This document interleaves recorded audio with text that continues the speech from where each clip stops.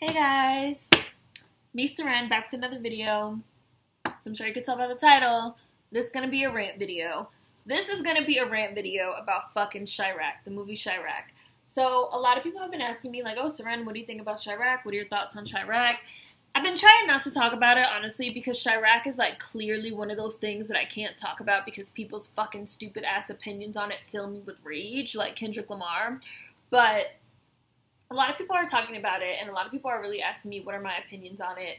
Um, so I just wanted to make this fucking rant video because the whole concept of this fucking movie pisses me off. It really pisses me off. It really fills me with rage that this movie was even made. I find this movie to be extremely fucking offensive. So for anyone that doesn't know, Chi-Raq is kind of a loose reimagining, retelling of Lysistrata. Lysistrata is a comedy by Aristoph- Aristophanes, excuse me, Aristophanes. Um, it's kind of a, it's in the Greek satire tradition um, where you kind of tell a serious story in a, in kind of a comical way. And the story of Lysistrata is the account of how one woman decided she wanted to end the Peloponnesian War, which was like a, a, a, ruinous war in Greece. And she decided to get the women together and say, listen, we're not going to have sex with our husbands until the Peloponnesian War is over. And the point of Lysistrata was to kind of point out, yes, the ruinous effects of war, and also to point out the gender dynamics between men and women and sex, you know, and it was written in 411 BCE. That now previously this would have been BC before Christ, but now it's BCE. So 411 BCE. So this is a very, very, very old play, um, and I and I want to say that in 411 BCE, when this was written, this was groundbreaking stuff, right? This was groundbreaking stuff. This was some of the first stuff you ever saw that actually talked about men and women and sex and power dynamics and war in a certain type of way. Now in 2015, almost 2016, we have different types of ideas. We have different ideas about gender. We have different ideas about men and women. We have different ideas about sex. We have different ideas about power dynamics. And I kind of, I don't even understand why Lysistrata as a way to examine gang violence and gun violence in, in inner cities, how that's even appropriate. You know, like Lysistrata, a retelling of Lysistrata as a broad comedy, maybe not necessarily a satire, but as a broad comedy, you know, women, haha, don't have sex with the men, ha ha ha, you know, ha ha, tongue in cheek, fucking frat boy ass fucking humor. They made another movie called A Miami Tail with fucking Trina. That shit came out in like the 99s and the 2000s where Trina got all her girls together in Liberty City, Miami and was like, listen, we not fucking y'all niggas until y'all fucking stop the violence. Like, they already did it. A modern retelling was already done with A Miami Tail. And A Miami Tail was a comedy. It was a broad comedy. It was funny. It wasn't a satire. It wasn't a, it wasn't, and a lot of people, I also want to say that a lot of people don't seem to understand satire because a lot of people are saying, like, it's a satire, it's comedy, it's funny. Satire and comedy in this sense don't necessarily mean funny. Like, Chi-Raq is a, it's, it's not a, an, it's not an unserious movie. Like it's a serious movie. It just chose to use this form of satire as a way to look at a serious topic. And a lot of people feel like that's inappropriate.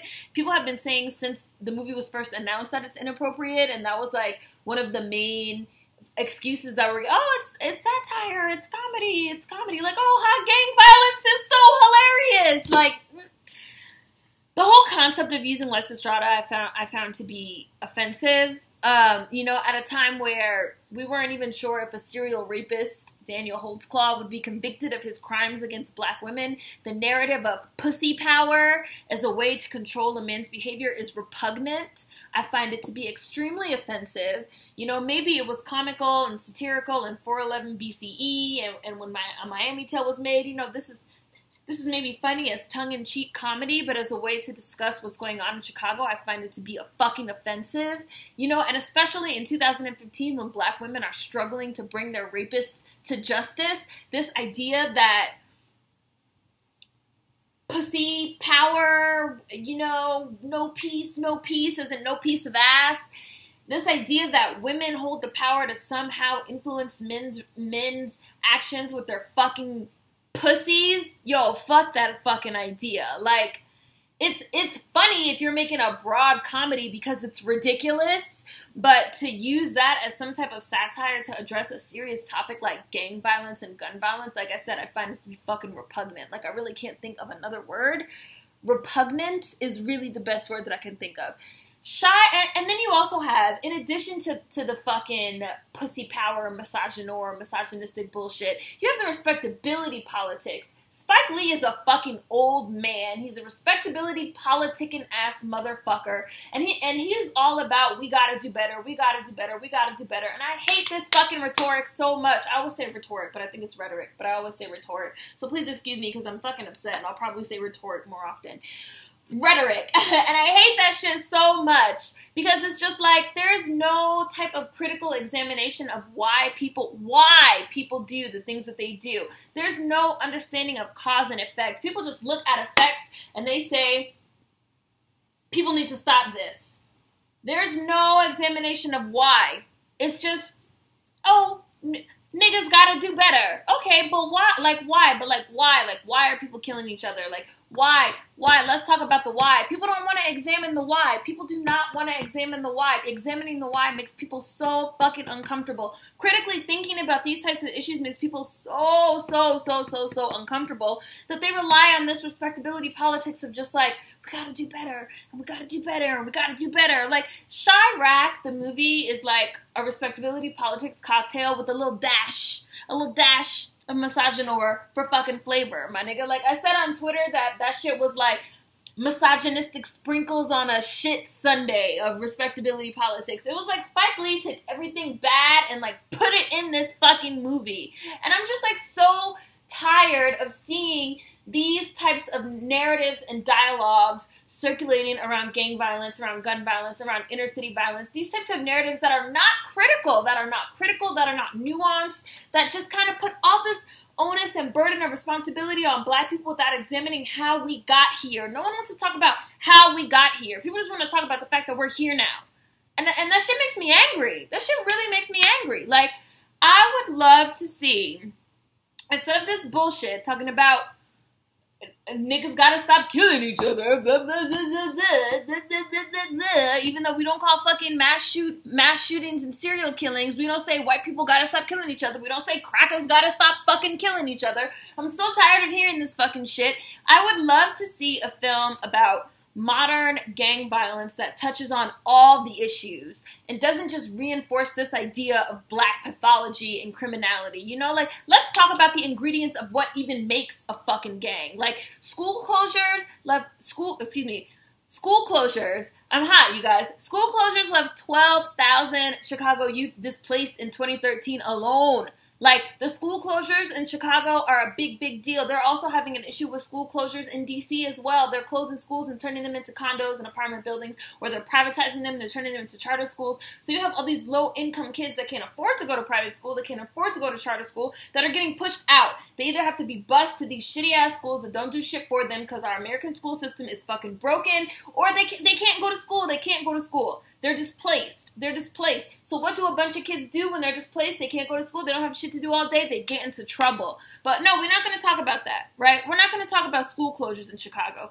Let's talk about the lack of support for mental illness and fucking trauma and PTSD that black people struggle with daily. Let's talk about dealing with fucking seeing these modern day lynchings of police fucking shooting us daily. Let's talk about the message that sends of how black lives don't matter. Let's talk about how that impacts the psyches of fucking black youth coming up and how they view their fellow fucking black person. Let's talk about that shit, Spike Lee. Let's fucking talk about that. Let's talk about that. Let's talk about the lack of fucking mental health preparedness. Let's talk about the lack of fucking options where we can even get fucking mental health resources dealing with the type of shit that we deal with on a day to day basis. Let's make a fucking movie about that shit. Let's make a movie about that specifically. No?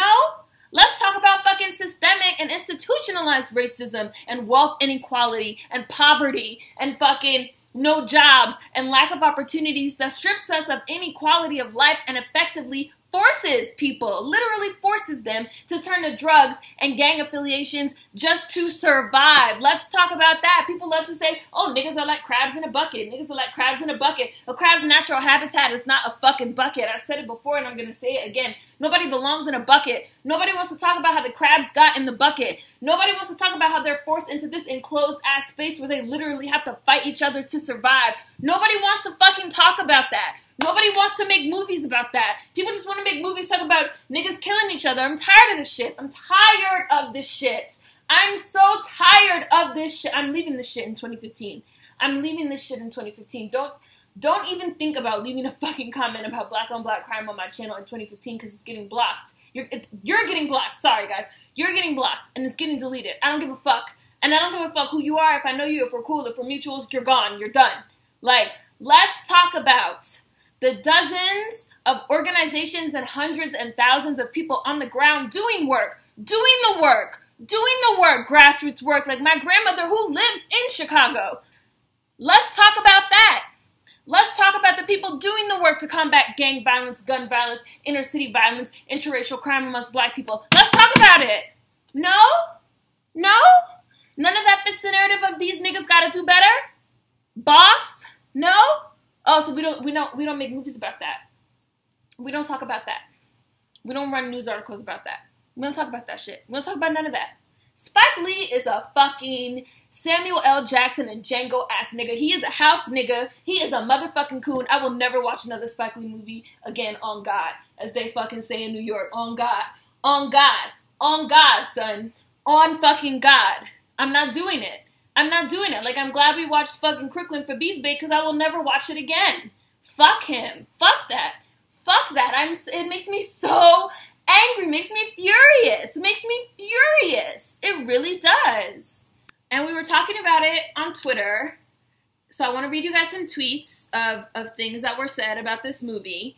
Um, somebody said, right? This gives us hor- horrible stereotypes, and not that I care what white people think, but more importantly, makes it look like all the hard work that we are doing for our people is overlooked and trying to make us look like wild animals. The wild animals that they want us to be so bad. I know people have problems with Spike Lee for a while because of some super problematic stuff that he says it's like they're giving all these people uh, all these black coons a spotlight but you hear nothing of the people that help you hear nothing of the of the celebrities that help usher nas snoop snoop is affiliated with so many anti-gang organizations but yet Chiraq fucking paints this picture of Nick Cannon as as a fucking wannabe. This Zelda right here, guys. Chiraq has Nick Cannon playing this wannabe rapper, and and it's like drawing all these like conclusions about how like oh celeb the celebrities don't do anything and like the and like the rappers and like the gang violence. And it's like yeah but you also you do have like rap that plays a part but you also have rappers that fucking go out there and say don't do what I did. Where is that? Where is that? Oh that's nowhere. Okay. Somebody else said the fascist imbeciles are desperate to justify their ignorance and hatred with mythological legend. And I love that because it's true. It's like this idea of the black fucking criminal savage is literally like mythological legend at this point. It's an urban legend at this point. It is like a, it's like it's like how they said that Mike Brown sw- swolled up like the Hulk, like he fucking turned into the motherfucking Hulk. Like this is it's mythology at this point. It's mythology, and then you have these fucking people like Spike Lee that fucking propagate it and keep it going with their power. It really pisses me off. Somebody else said. I'm just irritated that Spike Lee had the opportunity to really make a serious movie about the root cause of gang violence, but instead chose to make a satirical film depicting black people as the sole masters of our fate as though there are no other forces involved. And I was and I wrote this person back like this is what I'm saying. I wrote that shit in all caps. Like, okay, so let's say there are no literally no forces involved. It's just you know, guns. We live in a gun culture in America, and you know, the power of the pussy mysteriously makes the niggas put down the guns. So now what? What happens after that? What happens after the power of the pussy, the pussy power, the no peace, no peace makes the niggas put down guns? Now what? They still can't find work in Chicago because the economy is fucked up. They still can't go to school in Chicago because the local government is closing them all. So, so what? People don't people don't just fucking join gangs just for the hell of it, just for the thrill. Oh, I just want to join a gang. It seems like so much for like maybe white people because because white people are fucking bored with their lives, like Malibu's Most Wanted. But like, people don't just come out of the womb talking about how they want to join a fucking gang. Like, there are reasons behind it. So you you use your pussy power to get them to fucking put the guns down, and now what? They still can't go to school. They still can't work. So now you starving to death. Now you starving to death. Now you're starving to death because moving that weight was the only way you had any money coming into your house. So now you fucking starving to death, my nigga. Oh no, but we're not gonna make movies about that. We're not gonna make movies about that because then that would have to force us to actually fucking look at and examine the structural racism and inequality in this country. And we can't have that. It's so much easier to just focus on the mythological legend of the pathological black fucking criminal that just wants to kill other fucking black people, isn't it? Isn't it, Spike? Hashtag ask Spike. That's what's easy. That's what's easy. Rhetoric, rhetoric, whatever. Shit that you say that's flowery ass prose that sounds nice. Oh, come and extend a hand in love to white people, but it doesn't fucking mean anything, and it's exploited. It's I'm so god I'm so mad, and it's exploitative. It doesn't mean anything, and it's exploitative, and it doesn't give any solutions. You're just exploiting problems. You dick. There's just a real short sightedness, a real short sightedness around the dialogue that we have about gun and gang violence and what it really represents. And the short sightedness is really what fucking annoys me and pisses me off. People are so short sighted and swear they're so profound and swear they're to, oh, we need to do better. Come on, black people. We need to do better. Like, people love to say that and it doesn't mean anything. It means nothing. It means literally nothing. People, this movie just gave people coons and white people because all white critics love it. All white critics are eating it up. That shit has a 4.4 out of 10 on IMDb from viewer ratings. The viewers are hating it. The viewers hate it. But that shit has like an 80% on Rotten Tomatoes. Oh, the white critics love it. So y'all already know how I feel about the importance of black critics and how white critics love movies that just reinforce these stereotypes and these ideas that they already have about black people. And Spike Lee gave them, he gave it to them on a silver platter. They should Luke Chiraq on Fox. He gave it to them. He gave it to them. Yes, I'm black. I'm a respected black director, and I'm gonna make this movie verifying that black pathology that you love so much. Here, take it. Take it. Like, that shit pisses me off. It's like, it's just like my racism is an octopus video. You're focusing on one tenant, one sucker on one tentacle of a beast with eight fucking legs, my nigga, and hundreds, if not thousands, of suckers. Like there are so many working parts in play that lead to gang violence and gun violence that one, a fucking satire, Lysistrata broad comedy was one that was not even the correct way to go about it. Two, it was fucking offensive. It's, it's always offensive to put fucking male behavior on fucking female genitalia, bitch ass. That is always fucking offensive. Everything about this movie fucking offends me, guys. Everything about this movie offends me so much. I'm so offended. I'm so offended. Like, I'm so offended. It's not about we gotta do better. That's a fucking cop out. It's meaningless.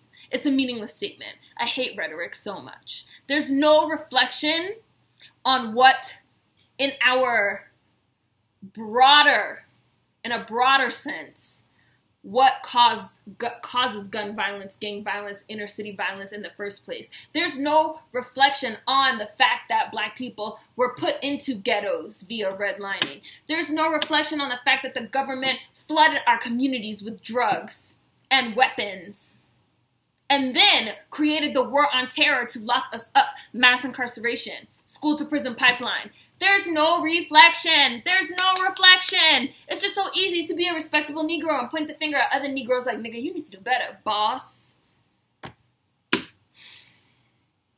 I'm, uh, I'm very angry. It really makes me angry. It really makes me angry, guys. It really makes me angry. Um, and I know there are some references in the film capitalism and capitalism funding, kind of funding gang wars and American gun culture and gun nuts and the ease with which you can get a gun. I know there are some references to that in the movie. I know that before there's people in my comment section talking about, but they talked about gun culture. They talked about gun culture. They talked about gun culture. Yes, I know that. I know that but there is not enough reflection on the larger issues at work in the film. And the the meat and potatoes of the speech on capitalism and gun culture and and and and those those serious issues come from a white savior, white daddy figure fucking John Cusack playing a minister in the neighborhood. That's not even given to the main character, Teyonah Parris. It's given to this white guy to fucking. He's gonna stand up in the front of a church at a funeral for a young a, a young black child that unfortunately has been killed by a stray bullet in the movie. He, white daddy gonna stand up there and fucking lecture to the niggas about fucking their culture about how their culture is fucked up, about how rap in their culture is linked to violence, about fucking gun control in their culture. Fucking white dad. I don't need no white daddy talking to me about that shit. Spike, get the fuck.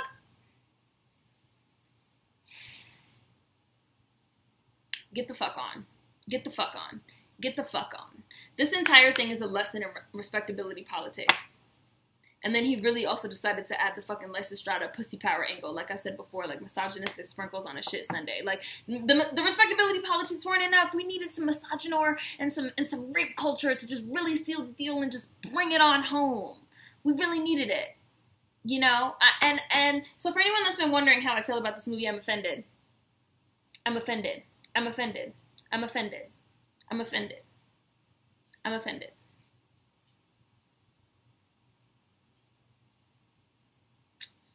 Um, I also wanted to read you guys some stuff from Instagram because we were also talking about it on Instagram as well. Uh, one, to imply that the responsibility of changing men's behavior lies with women's vaginas is disgusting and in poor taste. And two, there is no nuance to a conversation implying that black pathology is somehow responsible for intra-racial crime amongst black people, and we got to do better. Spike is a respectability politics old fool, and this film is disgusting. Why are black people forced to hear this narrative about how pathologically criminal and violent we intrinsically are? And why set this movie in Chicago and not in his beloved NYC, which has its fair share of gun and gang violence amongst black youths? This movie is gross sensationalism about a movie that is not his, which I really want to bring that up because Spike Lee loves New York. He always sets his movies in New York. The fact that he chose to set this movie in Chicago is really disgusting sensationalism. He's obviously capitalizing off the fact that that I was going to say Chiraq that Chicago has this kind of terrible press right now to push his movie. He filmed this movie in six weeks. He got it bankrolled by Amazon and like pushed it out there. So obviously they're trying to capitalize, which is fucking disgusting. Disgusting. I would have much preferred to see a documentary filmed with as much care as When the Levees Broke, which is a documentary series, a great documentary series that Spike Lee did on New Orleans um, on, on Katrina and what happened in the aftermath. I would have much preferred to see a documentary filmed with as much care as when the levees broke on the ingredients that led to the proliferance of gang violence in Chicago in the first place. Redlining, the creation of ghettos, lack of jobs or infrastructure, poor school systems, etc. Not a satire on how niggas kill themselves fuck out of here. Like, I also wrote that. Um, everybody wants to talk about the effects and put all this onus on black people and black women specifically, but no one wants to talk about the cause. And a couple of throwaway scenes with a white savior, white daddy character played by John Cusack that briefly touch on them are offensive and insulting. The situation is very serious. The movie is a preachy sermon that focuses on rhetoric people want to hear. We got to do better, Negroes, and not actual solutions or the very hard work that people are really doing to try and combat what is going on. And that's just just how I feel about it. And that is just how I feel about it. And that's just how I feel about it. So for anyone wondering how I feel about Chiraq, now you know. Fuck Chiraq, fuck Spike Lee, fuck all this shit. That's how I feel. Links in the description box. See you guys next time. Deuces.